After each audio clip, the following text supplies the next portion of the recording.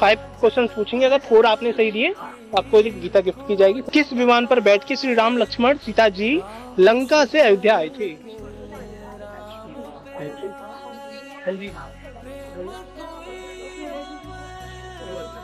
किस विमान पर बैठ के श्री राम लक्ष्मण सीता सहित लंका से अयोध्या आए थे?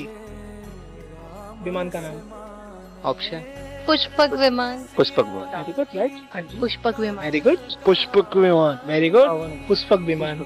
चलिए सेकंड क्वेश्चन केकई की कौन सी दासी उनके मायके से उनके साथ आई था? क्या नाम है वो? उसने वो बोला था कि राम।